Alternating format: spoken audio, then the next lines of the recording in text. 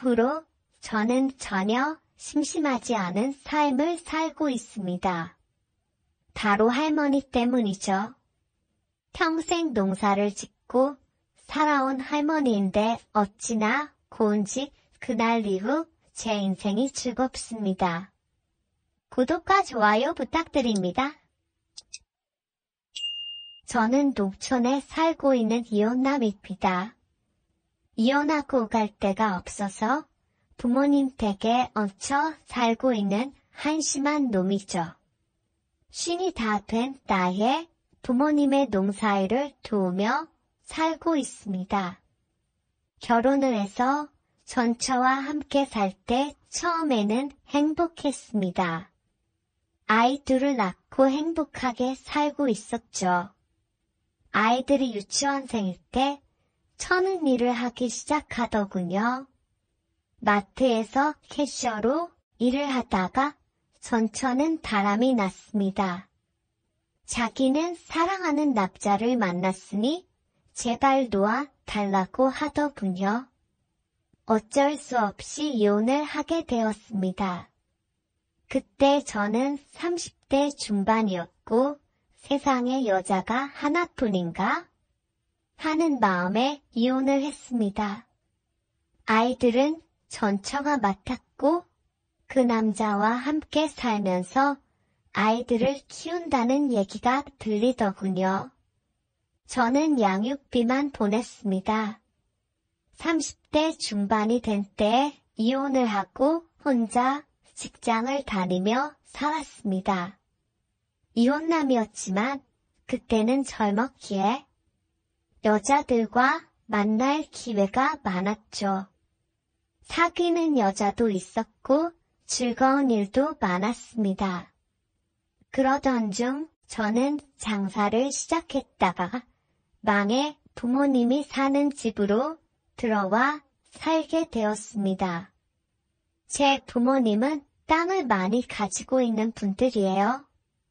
저는 부모님의 농사일을 돕고 부모님으로부터 월급을 받고 살았습니다. 부모님의 집으로 다시 들어온 지가 벌써 8년이 되었네요. 시골에서의 삶은 무료했습니다. 바쁠 때는 바쁘지만 한가할 때는 너무 한가한 곳이 농촌이죠.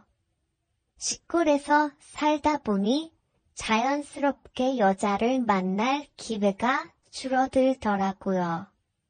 게다가 나이가 점점 들다 보니 여자를 만날 기회는 더더욱 줄었습니다. 쉰도 안 된 나이에 여자 없이 살 수 있는 남자는 극히 드물 것입니다. 꼭 밤을 보낼 여자가 아니더라도 여자가 있어야 덜 외로울 테니까요. 아주머니들, 할머니들만 사는 이 동네에서 여자를 만나기란 불가능했죠. 물론 혼자 사는 아주머니들과 할머니들도 있습니다. 하지만 그분들을 여자로 본다는 것은 상상도 하지 못했어요. 제가 어렸을 때부터 봤던 분들이니까요. 시골에서 농사일을 하고 어쩌다가 저녁에는 읍내로 나가 친구들과 술 한잔 먹고 들어오는 것이 외로움을 달래는 유일한 일이었습니다. 외로움에 몸서리가 처질 정도였어요. 솔직히 말하자면 여자 생각이 났던 것이죠. 막상 여자를 만나려고 하면 또 귀찮기도 했습니다. 지인들이 이혼녀나 노처녀를 소개해 주어 만나보기도 했지만 그리 오래 가지는 못했어요. 연애의 단계를 밟아 나가는 것도 솔직히 이젠 귀찮아졌습니다. 그래도 여자들은 많이 따르는 편이었습니다. 저는 이 동네 땅, 부자, 집 외아들이니까요. 앞집에는 할머니 한 분이 살고 계십니다. 요즘 한창 저와 즐거운 시간을 보내고 있는 고마운 분이죠. 그 할머니는 제가 어렸을 때부터 앞집에 살고 계셨어요. 할아버지는 몇 년 전에 돌아가셨습니다. 할머니는 아들 둘이 있는데 아들 둘 다 도시로 나가 직장을 다니며 살고 있습니다. 저희 부모님은 그 할머니 집에 무슨 일이 생기면 저에게 가보라고 하셨습니다. 할머니 집에 가전제품이나 전등이 고장나면 제가 가서 고쳐드리곤 했죠. 겨울철에 할머니 집에 습도가 얼면 녹이는 일도 했습니다. 할머니는 제가 본인의 아들들보다 훨씬 낫다고 하시며 저에게 늘 고맙다고 하셨어요. 저도 귀찮을 때가 있죠. 하지만 이웃끼리 서로 돕고 사는 거라며 저희 부모님은 그 할머니 집에 문제가 생기면 저에게 꼭 가보라고 하셨습니다. 할머니의 아들 중 큰 아들은 할머니의 집에 오면 꼭 저에게 줄 선물을 사 가지고 와서 제게 주었습니다. 빵이나 음료수 등을 주는데 제가 그런 것을 거의 먹지는 않지만 고맙게 받기는 했습니다. 할머니의 큰 아들은 자기 어머니를 살펴주는 저에게 고마움의 표시를 하고 싶었겠죠. 그런 성의를 무시할 수도 없었습니다. 할머니는 엄청 고운 분이에요. 얼굴도 예쁜 할머니입니다. 할머니는 말도 곱게 하시고 웃을 때는 마치 천사 같아요. 할머니는 젊었을 때 정말 훨씬 더 예뻤을 것 같습니다. 하지만 지금도 아름다워요. 작년에 할머니가 친척 결혼식이 있다고 옷을 차려입고 나왔을 때는 마치 귀부인 같은 느낌에 눈이 부실 정도였습니다. 그 할머니는 농사일도 참 열심히 하십니다. 앞집과 저희 집 사이에 밭이 있는데 할머니는 봄부터 가을까지 밭에서 하루 종일 일을 하셨습니다. 그렇게 평생 농사일을 하며 살았지만 할머니는 피부도 하얗고 주름살도 별로 없었습니다. 머리카락을 염색하고 화장만 잘한다면 저와 비슷한 또래로 보일 것 같습니다. 지난 가을에 농사일이 좀 한가해지니 저는 더 외로움을 많이 타게 되었어요. 매일같이 마음이 싱숭생숭하고 여자를 만나고 싶은 생각이 많이 들었습니다. 정확히는 여자를 만나고 싶은 생각이라기보다 밤을 함께 보낼 여자가 있었으면 좋겠다는 생각이었죠. 미치도록 외롭다 보니 앞집 할머니가 눈에 들어오는 거예요. 처음에는 내가 미쳤나 하는 생각이 들었습니다. 부모님과 연세가 비슷한 할머니에게 눈이 간다는 것이 참 어이가 없기도 했죠. 그러던 어느 날 할머니는 비닐하우스를 수리하고 있었습니다. 저는 마침 그날 할 일이 없어서 집에서 쉬고 있었죠. 저는 할머니를 도와드렸고 할머니는 저를 보고 방긋 웃으며 혼자 해도 되는 것이니 들어가서 쉬라고 했지만 저는 할 일도 없고 하니 도와드리겠다 말하고 할머니가 하는 일을 도와드렸습니다. 일을 다 하고 할머니는 들어가서 밥을 먹자고 하시더군요. 할머니의 집으로 들어가 할머니가 차려주신 밥을 먹었습니다. 밥을 먹고 있는데 할머니는 이렇게 말씀하셨어요. 매번 이렇게 도와주니 자네가 네, 서방님 같네 이러면서 환하게 웃으시더군요. 할머니의 농담을 저는 이렇게 받았습니다. 그럼 내가 서방님이 집 가을이 돼서 이 서방님이 외로운데 마누라가 뭐하고 있는 거요? 할머니는 잠시 당황한 표정이었는데 다시 웃으시며 말씀하셨어요. 서방님이 외롭다면서 이쁜 마누라 쳐다도 안 봐? 이 말에 저는 큰 소리로 웃었고 할머니도 엄청 큰 소리로 웃었습니다. 그 할머니가 그렇게 간드러지게 웃는 것은 그날 처음 본 것 같아요. 밥을 다 먹으니 식곤증이 몰려왔습니다.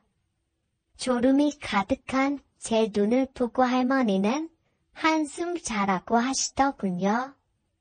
집이 바로 코앞인데 집에 가서 자면 된다고 했더니 할머니는 여기서 잠깐 자도 된다고 하시길래 저는 누웠습니다. 할머니는 설거지를 하고 오셨어요. 저는 할머니에게 마누라 일로 와. 내 팔 대고 누워봐. 이렇게 말했는데 할머니는 웃고 계시더라고요. 할머니와 몇 마디 농담을 주고 받다가 저는 잠이 들었어요. 한 시간 정도 자고 일어나 보니 할머니는 제 옆에서 자고 계셨습니다. 저는 조용히 일어나서 나오려고 했는데 할머니도 잠에서 깨더군요. 할머니는 저에게 오늘 고맙다고 하셨습니다. 저는 고마우면 이 서방님의 외로움을 달래줘야지 그냥 잤어? 또 이렇게 말했어요. 할머니는 서방님이 그냥 내 잠만 잤으면서 내가 뭘 어떻게 해줘야 한대? 또 이러면서 눈을 가늘게 뜨며 웃더군요. 저도 웃으면서 할머니에게 인사를 했습니다. 저 갈게요. 쉬세요. 제 말에 할머니는 어머. 이 서방님 좀 봐. 마누라 한껏 달뜨게 해놓고 그냥 간다고? 또 이렇게 말했습니다. 저는 머릿속이 혼란스러웠어요. 할머니가 진심으로 하는 말일까? 이런 생각도 잠시 들었지만 설마 할머니가 장난을 치시는 거겠지. 이렇게 생각하고 웃으며 할머니 집에서 나와 저희 집으로 돌아왔습니다. 다음날 할머니는 밭에서 또 일을 하고 있었어요. 할머니에게 인사를 했더니 할머니는 저를 보고 야릇하게 웃더라고요. 서방님 잘 주무셨어? 이렇게 말하는 할머니를 보고 저는 웃어 드렸습니다. 나 없는 동안 한눈 팔지 말고 있어. 저는 할머니에게 이렇게 말하고 차를 타고 볼일을 보러 갔죠. 할머니는 차에 타는 저에게 오늘 빨리 들어와요. 이렇게 말하며 손을 흔들며 인사를 해 주었습니다. 저는 그날 저녁에나 집에 들어왔어요. 차에서 내리는 저에게 할머니는 또 장난을 치는 거예요. 서방님은 오늘도 마누라를 독수 공방하게 하려나? 혼잣말처럼 이렇게 말을 하더군요. 저는 너무도 외로웠던 나머지 떨리는 마음으로 할머니에게 물어봤습니다. 지금 하는 말이 진심이요? 할머니는 웃으면서 농담한 것을 가지고 그렇게 심각하게 말하냐고 하더군요. 저는 농담이 아니라고 말했습니다. 할머니는 본인이 이렇게 늙었는데 나 같은 젊은 남자는 언감생심 꿈도 못 꾼다고 하시더군요. 저는 이렇게 고운 할머니가 무슨 그런 소리를 하냐고 정색을 하고 말했어요. 할머니는 당황스러운 표정을 지었습니다. 할머니는 저에게 그렇게 외롭냐고 묻더군요. 저는 너무 힘들다고 했습니다. 할머니는 제가 오죽하면 자기 같은 늙은이에게 그런 생각을 했겠냐고 제가 너무 가엽다고 하시는 거예요. 저는 그런 게 아니라 할머니가 너무 곱고 예뻐서 그런 생각을 된 것이라고 말했죠. 할머니는 나도 몰라. 마음대로 해. 이렇게 말씀을 하셨습니다. 마침 주변에는 아무도 없었고 저희 집에는 부모님도 안 계셨어요. 저는 할머니의 손을 잡고 할머니의 집으로 이끌었습니다. 할머니는 순순히 저를 따르더라고요. 할머니의 집으로 가서 할머니와 일을 치렀습니다. 뜨거운 시간을 보내고 나서 할머니는 제 머리를 쓰다듬으면서 이렇게 말씀을 하셨어요. 서방님, 항상 기다리고 있을게요. 자주 놀러 와요. 이 말이 저는 너무 듣기 좋았어요. 그 후로 저는 부모님이 집에 안 계실 때면 할머니에게 놀러 갔습니다. 밭에서 일하고 있는 할머니를 불러 손을 잡고 할머니 집으로 이끌었죠. 할머니는 한 번도 저를 거절하지 않았어요. 한 번은 제가 할머니에게 물어본 적이 있습니다. 저 때문에 힘들지 않냐고 물었더니 서방님인데 그럼 어떻게? 이러면서 웃으시더라고요. 한 번은 밭에서 일하고 있는 할머니에게 집으로 들어가자고 했더니 아이 지금은 아들내미가 와 있어요. 서방님? 아들내미 가면 내가 곱빼기로 해줄게. 응? 조금만 참을 수 있죠? 이러더라고요. 할머니는 참 남자 마음을 녹이는 재주가 있습니다. 저는 장난기가 발동의 할머니에게 이렇게 말했어요. 마누라가 너무 예뻐서 못 참겠는데? 했더니 할머니는 그럼 어째요? 저기 숲에라도 들어가서 볼일 보고 올까나? 저는 할머니에게 웃으며 고맙다고 말하고 있다 저녁에 보자고 했어요. 저녁이 되어 할머니는 전화를 하셨습니다. 아들내미가 갔으니 아까 못 본 볼일을 돌아오라는 것이었어요. 집에서 나와 보니 할머니는 밭에서 쪼그려 앉아 소변을 보고 있었습니다. 저와 눈이 마주치니 할머니는 눈웃음으로 저를 반겨주시더군요. 저는 또 장난기가 발동해서 아니 여자가 이렇게 아무 데서나 오줌을 싸면 어떻게 해? 이렇게 말하자 할머니는 서방님 내가 잘못했어요. 저를 홍군형 내주세요. 이렇게 말하며 웃었습니다. 저와 할머니는 또 할머니 집으로 갔죠. 요즘 몇 달간 이렇게 앞집 할머니와 즐겁게 지내고 있습니다. 할머니는 정말 장난기도 많고 제 마음을 잘 알아주는 분이에요. 저를 떠받들어주는 할머니가 너무 사랑스럽습니다. 이야기가 재미있으셨나요? 또 재미난 영상이 궁금하시면 구독과 좋아요 부탁드립니다. 감사합니다. 오늘도 웃으며 힘차게 건강하고 행복한 하루 보내세요.